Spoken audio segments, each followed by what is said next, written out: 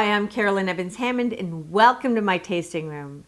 Carolyn's tasting room is where we taste exciting wines together so you can drink better and learn how. And this week, we taste wines that honor the planet. So today's flight includes a 2020 Bonterra Organic Chardonnay from California, the 20, 2019 Bonterra Organic Cabernet Sauvignon from California, the 2021 Casillero del Diablo Reserva Chardonnay from Chile, and Concha Toro's Frontera Cabernet Sauvignon, also from Chile. Let's taste.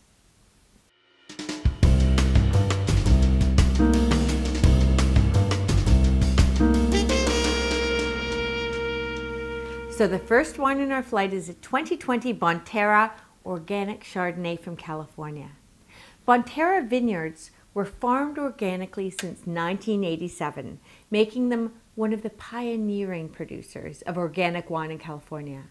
And Bonterra is a climate neutral certified winery, and that commitment to the land and the planet feels good. So, today we're tasting two of the most widely available wines from Bonterra, the Chardonnay and the Cabernet Sauvignon. So the Chardonnay is we're going to take we're going to taste first. So pour yourself a glass and immediately notice the color. Notice how deep it is. It's sort of golden. And that's because, you know, that's that's an indication of some barrel treatment. And about 70% of this wine spent time in barrel. So we're we're noticing that and uh, and it's got lovely sort of pale gold inflections, which is very pretty. It's clear and bright, which suggests, suggests stability which is great. We'll look for on the nose and palate. So let's have a nose. So swirl the glass to get the aromatics into the bowl and get your nose in there and let's have a sniff. You know what that reminds me of? Homemade apple crumble. You're getting the baked apple, a bit of brown sugar, some butter, maybe some, you know, butter pastry. Love that. Beautiful nose, very compelling. Have a sip, and we're going to focus first on the tip of the palate to see whether it's dry or sweet. Because the nose, you know, it smells almost confected with all that brown sugar and apple, but it might be a dry wine. So focus on the tip of the palate, or the tip of the tongue, which is where we detect sweetness.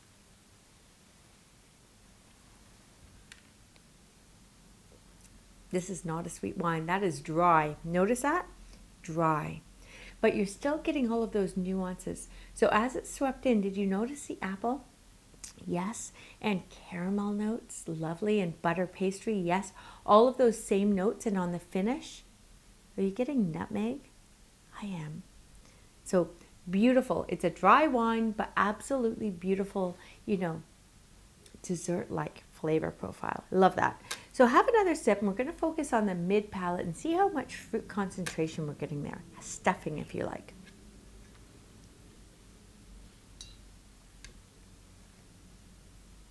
Lots of flavor. Beautiful. Streams in bright. The acidity lifts the fruit just like, you know, apple has that wonderful lacy acidity that keeps everything refreshing. You're getting that for sure. And we can isolate that acidity by focusing on the sides of our palate to see how much our mouth waters. Mmm. Is your mouth watering? Mine is. That's, you know, that Chardonnay. Chardonnay's high acid grape and absolutely mouth watering. And what that means is it finishes with the palate scraped clean. So it finishes dry. That means it's food friendly, easy to drink, quenching, and on the finish, nutmeg and maybe a whisper of white pepper. Lovely wine, organic, great for the planet.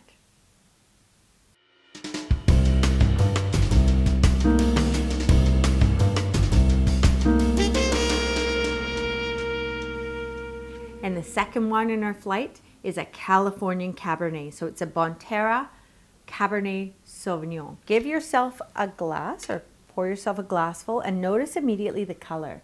This is great depth of color. In the middle, it's opaque. You can't see your thumb through it. That suggests concentration of fruit, which we'll look for on the nose and palate. Great. This has also been, it's been seasoned with Petite Sirah and Malbec. That's going to add to the dark garnet color. But give it a swirl and a sniff. Do you notice cassis or black currant liqueur? That is the hallmark aroma of Cabernet Sauvignon. So you always look for that in a Cabernet Sauvignon. And here it's very articulate, very pure. Love that. Great cleanliness of fruit here. But there's more going on. Are you noticing a little bit of graphite? Sort of pencil, like old school black pencil lead? Yeah, I get that. And tobacco, maybe a touch of charcoal. Lots going on, but it's got a clean nose and a very articulate nose. Lovely. Have a sip. We're going to focus on the tip of the tongue to see if it's dry or sweet. Mmm. You notice that? It's not bone dry. On the tip, there's a whisper of sweetness. Now, I think technically this is about seven grams of residual sugar, just enough to polish all of the edges, just enough to lend a little bit of, you know, structure as well as mid palate density. So we're getting that. This is 14.5% alcohol. So we're getting a wonderful balance with that whisper of residual sugar. Um, if you work it out, it's only about one gram or a quarter of a teaspoon per glass or a five ounce serving. So, you know, don't be put off by that. I think it just lends balance. So have another sip. Focus on what we're getting in terms of mouthfeel because I think with all of that, we're going to get smoothness. Mm. Ripe, round, full of fruit. This is a cocktail style wine, yes, but maybe a barbecue wine too. Notice how it also fans out with flavors. So first you're getting the cassis and then it fans out with toasted tobacco, toasted nut, a hint of, um, you know, like grilled plum or something. And then on the finish, black peppercorn, like a good crank of black peppercorn. This is a wine I'd love to serve with grilled steak. Have another sip. So we're getting concentration, we're getting complexity, balance. We're going to look at the length and see how long it lingers on the finish, the final hallmark of quality.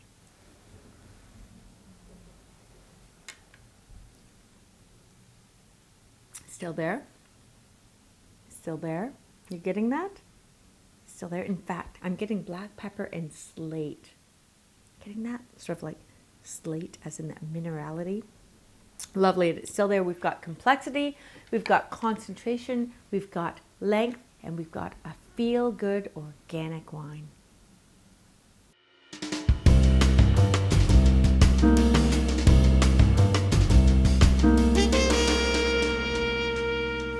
The third wine in our flight is white. It's a 2021 Casillero del Diablo Reserva Chardonnay from Chile. The next two wines, including this one, are by Concha Toro a B Corp winery. And B Corp certification is a designation that shows a business meets high standards of social and environmental performance. It's a rigorous certification process that sets the bar high, and Concha Toro is one of the world's largest B Corp wineries. So let's taste. Pour yourself a glass and immediately notice the color. It's not as dark as a Bonterra Chardonnay. Notice that? It's more straw colored. There's still gold inflections, but it's very clear, very bright, so suggests quality. Swirl the wine, get the aromatics up into the bowl, and sniff. This is absolutely Chardonnay because it smells of citrus and apple. That's the aroma that you always get from Chardonnay. Love that. This was, this did get a little bit of barrel treatment, so there's a little bit of oak, but it's very understated. It's judicious. Love that. Mm. Very clean, very clear. Now, have a sip. Focus on the tip of the tongue to see whether it's dry or sweet. Dry, dry. Another sip and let it flood in and let's notice the mouth feel.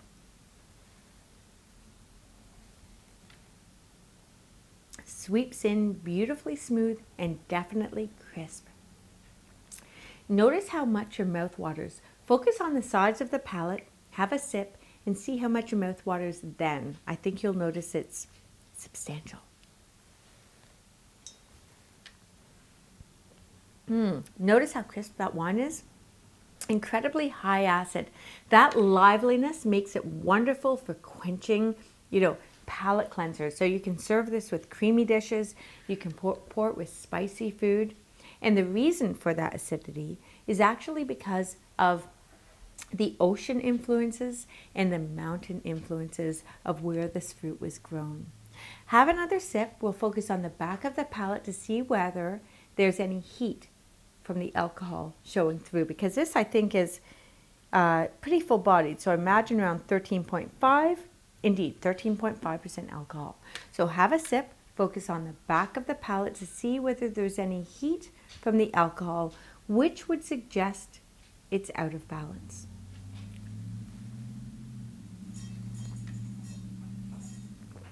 Not at all. Absolutely no heat. Just beautiful fruit. Lovely. And on the finish, are you noticing a hint of butterscotch? That butterscotch, it's dry, but it's that essence of butterscotch or toffee. Lovely confected note. That is from the oak. And it makes your palate, you know, beautifully seasoned. And with this wine, I would serve it with fettuccine alfredo. All of the flavors would go beautifully, or a grilled Caesar salad. Fantastic. So there we have it, a beautiful white from Chile.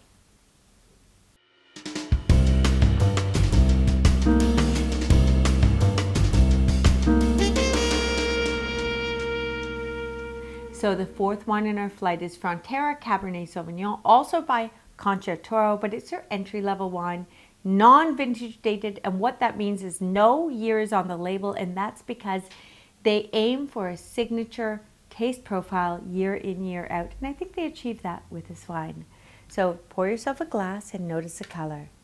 Great depth of color. It's really deep, you know, which suggests concentration, which I think we'll find on the nose and palate.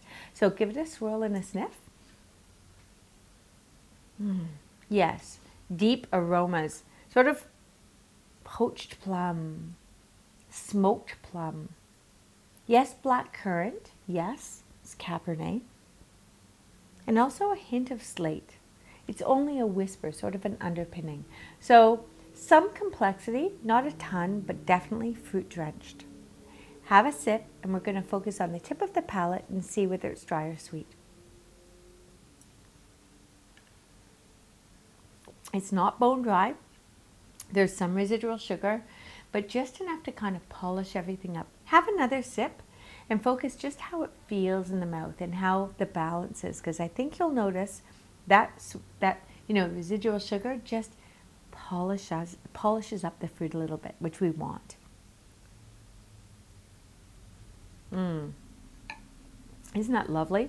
Round, ripe, full of fruit, easy drinking. This is the epitome of a cocktail style wine. The wine you can just sip on its own, maybe with a handful of nuts.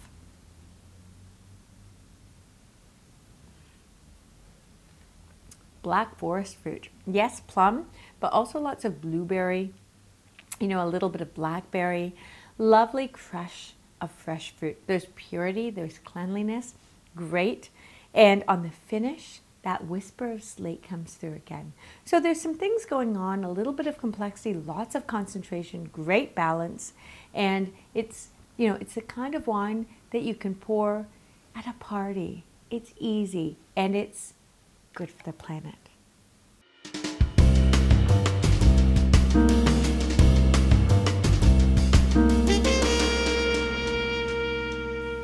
So there you have it. Four wines that honor the planet. Which wine did you find most intriguing? Let me know in the comments below here on YouTube. And don't forget to like and subscribe because I'm coming right back with other delicious wines here at Access Luxury so you can drink better, save money, and stay in the know.